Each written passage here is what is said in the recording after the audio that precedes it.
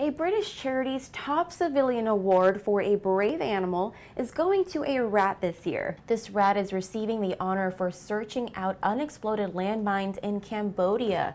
Magawa, a giant African pouched rat, was awarded after discovering 39 landmines. Magawa Magawa was trained by a Belgian organization that has taught rats to find landmines for more than 20 years. They work to clear millions of mines left behind from wars and conflicts.